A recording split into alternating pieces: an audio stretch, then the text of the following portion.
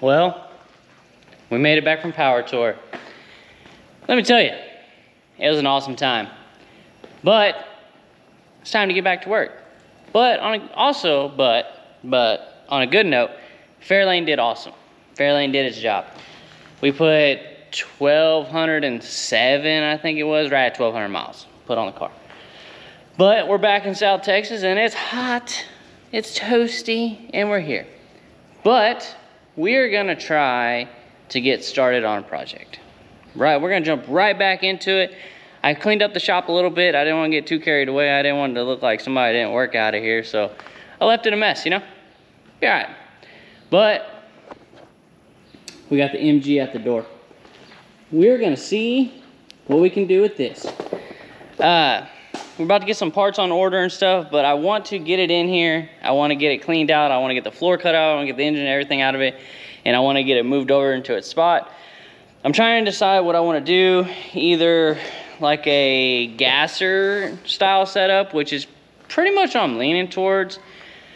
I'm thinking about buying like a Model A frame or a Model T frame with a straight axle in the front and narrow the rear end and everything and just go about it like that.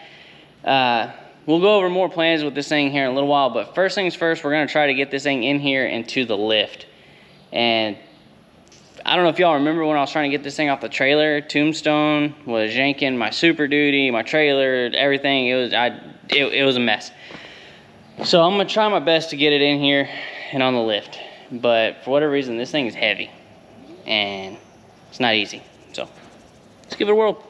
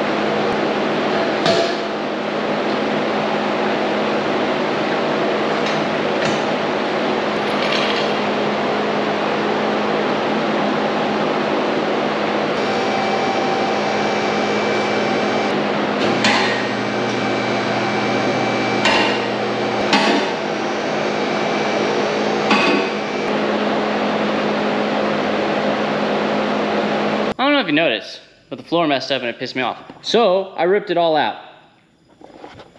I I hated that floor anyways. It was it was messy. When I pulled it all up, there was dirt and everything. So, but anyways, uh, first things first, I want to try to get this rear end. I, I don't even know what's holding it in, honestly. Like, there's nothing here. So I'm assuming these hoses, maybe something like that, because like,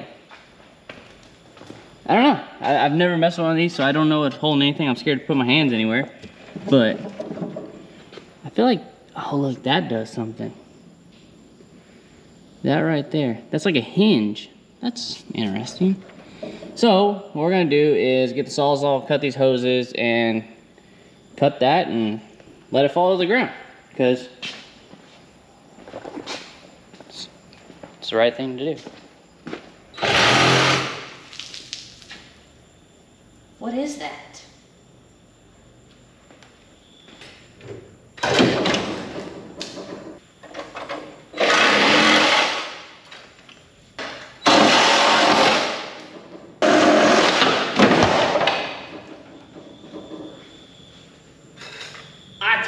nothing holding that thing in. What was in there though? Still a good strap.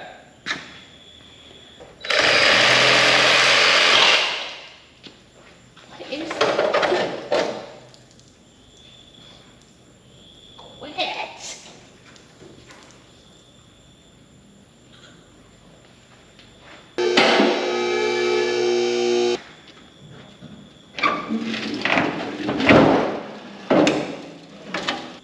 I need to take this hood off.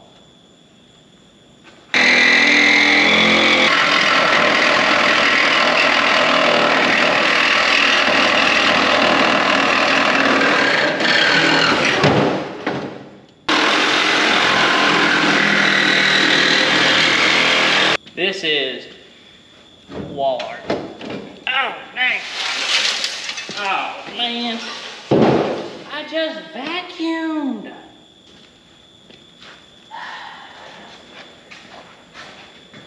Look how cute this is.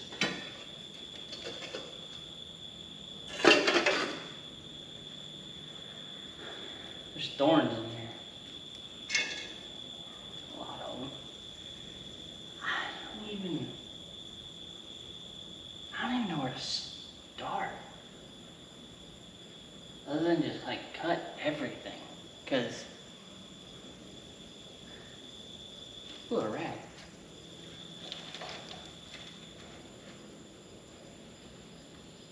I think I'll start. Should I try to start it?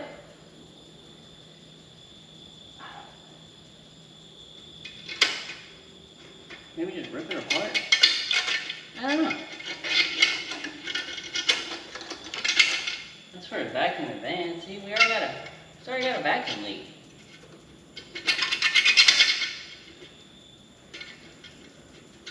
Fix that. It's like brand new now. Dirt dippers.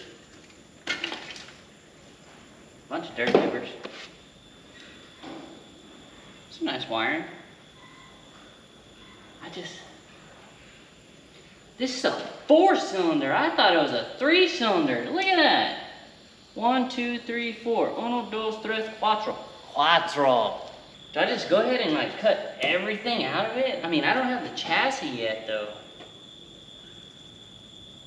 But I need to get everything cut out of it and ready for a chassis. Then again, it's, it's really hot. And I'm tired. So I might pick this up tomorrow. Maybe? I don't know.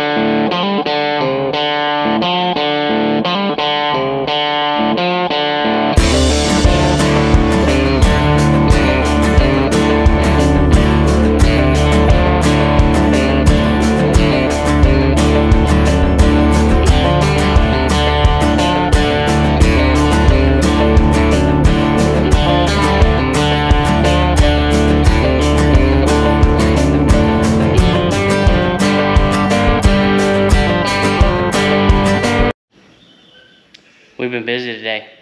Y'all got here late. But engine and I guess that's a transmission. Yeah, it gotta be. Engine and transmission is out. Uh, it's like a whole subframe assembly. And I cut the radiator hoses and I didn't need to. So uh, we got antifreeze going everywhere on the floor for no reason. But you know what? It's fine. I ain't worried about it. So now I'm gonna save this engine for something. What I'm saving it for, I have no idea. Uh, as you can see, it's like a whole subframe assembly. Ah, I can make something work. Got a shifter. it does shifty things. I mean, I got everything, so I can save it for like a go-kart project. I can weld something off the front. I don't know. Just, we'll just, I, I don't know. We'll just have to see what we come up with for this thing. Uh, so now we're gonna get this drug out and covered up. I'm gonna drag it right there, over there. Cover it up outside. And then we're gonna come in here. More likely we're gonna pull the steering column, cut stuff out, you know. Take that out, probably the carpet and stuff, clean out the bed of it, and we're gonna cut the entire floor out of this thing. I mean, we don't need none of this, so there's no reason to save it. The only thing we're gonna save is like the, the back firewall. It's real thick metal, so we'll save that. But the center of the floor, from the firewall, halfway down the firewall, back, it's all coming out. Uh, we gotta fit a V8 in this thing. So, oh, and look how I have it suspended. It's perfect for cutting the floor. So I'm gonna get this drug out and we will go ahead and get this down, get the seats and stuff out of it, and get the plasma and probably start just plasma and everything out. I mean, less it's in there, the better, I guess. I don't know. My bumper's bent. Well, we got the seats out of it. Uh, I didn't know about these fancy compartments. Look at that. Access. Because they left the floor and then built the floor. I don't know. It, it is what it is. So now we're going to work on getting all of this out. I've already kind of started ripping this rug stuff out of here, which is actually pretty disgusting. Uh, we're to come here with a plasma and just just start cutting all this out of here. So I'm actually probably gonna cut this first section out so I can crawl underneath here and it'll be easier to do all this stuff. So yeah, oh and then, well this front half might come out, I don't know. It smells. It's connected over there again. Look at sweet steering wheel. Nice.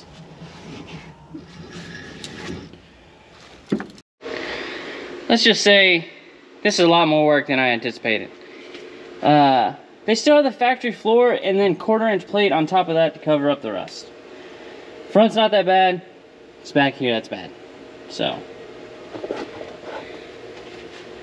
I'm getting whooped. Ow, that is hot. Golly. So I'm gonna keep cutting on this floor. It's. We have a fire. I don't I don't know what's causing it. I know that's leaking. I don't think it's gas. I mean, I can go like this and it goes out. Then I go like this.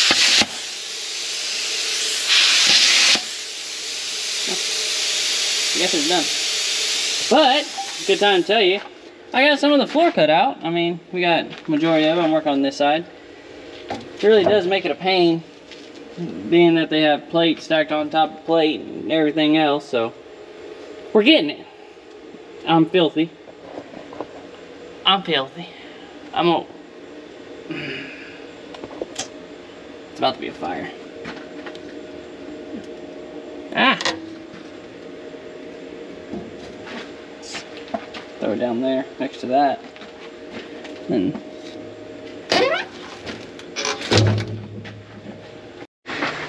Alright, it there for tonight. Uh, we got most of it cut out. The uh, very last cut, it fell and it hit me. So, we're calling it there for tonight. That means too much is going on. And, uh, tired. Kind of hungry. We'll hit this again tomorrow. Good afternoon. And it is hot.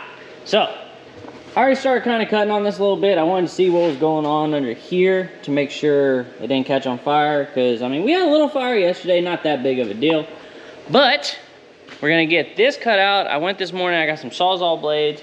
So once we get this cut out, I can take Sawzall blades to the actual MG floor.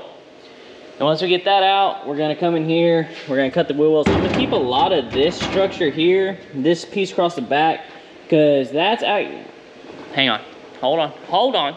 I know a few people are gonna be like, you shouldn't have cut the floor out of that car. Now the body's gonna be all tweaked. Did you see the rust? Do you think I care if the body's tweaked? No. I'm gonna set it on a Model A or Model T frame and we're gonna do burnouts with it. Like, it's not driving down the highway at 110. We're gonna have 110 wheel speed, but it's not gonna be going 110, if you know what I'm saying. So, not a big deal to me. So with that being said, that back wall is staying, and then that support down there, most of this here is staying, and then this strip on the back, and then part of the firewall. Hold the car together more than good enough, it'll be perfectly fine. So I'm gonna finish cutting this top layer out, and once this top layer's out, we'll cut the other layer out of it, because they did layer after layer. But it is hot, like it is really hot in here. Oh, my neighbor's putting up a pool too. Oh man, it's a good looking pool. And it's only like a foot deep, so I won't drown in it.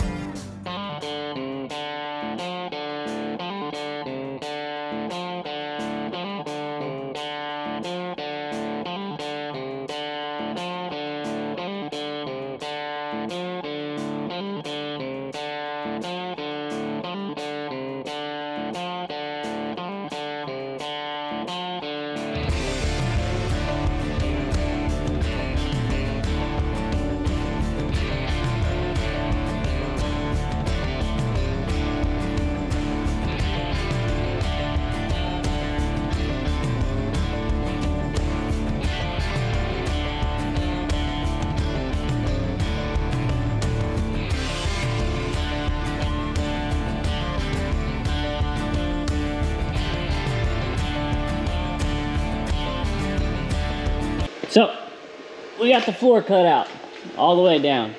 Uh, I need to come in here and clean this cut up. But now, we're gonna come in here, unbolt this column, take this heater box out, and you can see where this indention of the firewall is. We're gonna cut it out there. So we're gonna cut that and go from there. That's still cut. So we can see what we got going. But yeah, so after this, we're gonna probably call it a, I mean, call it on this for now until I figure out what I'm gonna do with a chassis. So there's rust.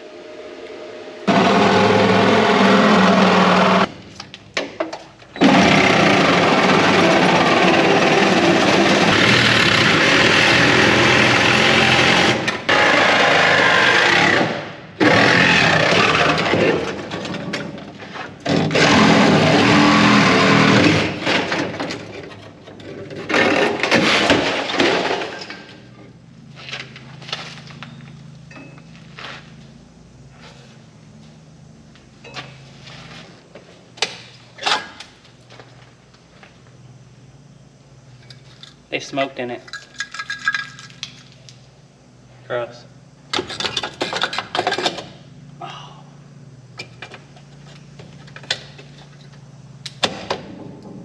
Damn it.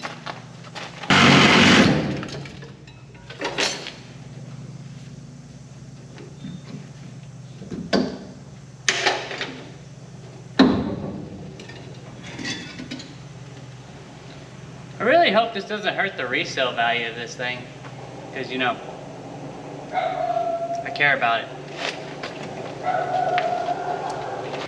Alright, as you can see, we got everything cut out of it. Uh, I did a little measuring and it's gonna be tight. Uh, I measured the Model A's 302, I almost fell, and it's like 19 overall height and then 28-ish lengthwise. So we're gonna have to make that fit. I did find a frame on Marketplace. I'm not totally sure if I wanna use it or not. The front is 25 and a quarter wide, which will actually work. And it's actually to a Model A, so it has a big step up in it. In the rear, it steps up 19 inches. So actually, I just did some measuring. That actually probably work out pretty good. So it depends if we want to go with the gasser look or if we want to go with the lowered, look like a go-kart spinning in circles look. I don't know. Haven't really made up my mind. The frame's fairly cheap. I'm waiting to hear back on from a few people on some frame options. Maybe go that route. Totally haven't decided, but we'll see. But now I got a big mess to clean up and that's gonna conclude everything we got going on on this thing for now until we get a frame figured out. Because we have an engine, we have two transmission options. We have either an automatic C4 or a top loader three speed. I have both, so we need to decide on that. I have a Ford 9 inch, so we need to get the frame and stuff in here so we can narrow it. And front suspension, depends if we go gas or go-kart. So we'll have to figure that out. But that's all we're gonna get done on this thing for now. I'm gonna move it over to the side, get all this stuff cleaned up and get started on the next project, which I'm about to go pick up here in a little bit. It's not mine, but we're gonna work on it anyways. So, there you go. Till next time.